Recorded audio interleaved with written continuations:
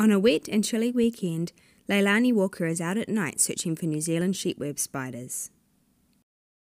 So these spiders are found throughout New Zealand, primarily in native forest. You can find them pretty easily. They build really large, highly three dimensional webs with a big, thick horizontal main sheet, which looks a little like a trampoline. Like all spiders, sheet web spiders have large jaws that are used for handling and eating prey in their webs.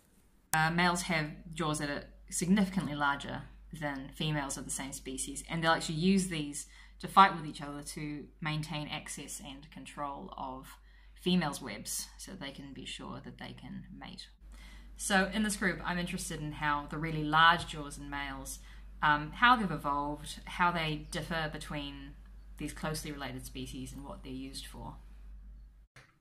Leilani has a cunning method to allow her to measure her previous night's catch without getting a nasty nip. By gently wrapping the spider in cling film, Leilani is able to create a delicate burrito, which allows her to then use a pair of hand calipers to measure the spider's jaws and body size without hurting the spider.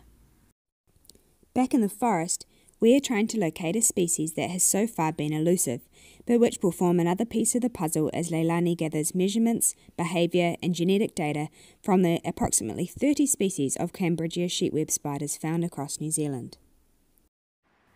Finally, it seems that we may have found the species that Leilani is after. So not quite sure what she is, but um, the abdomen, uh, the patterning on her abdomen is a bit different from the other things we've been seeing. She's a bit smaller. Leilani's research will soon reveal why there is so much diversity in jaw shape and size in the secretive group of nocturnal spiders. That is, if she can catch them.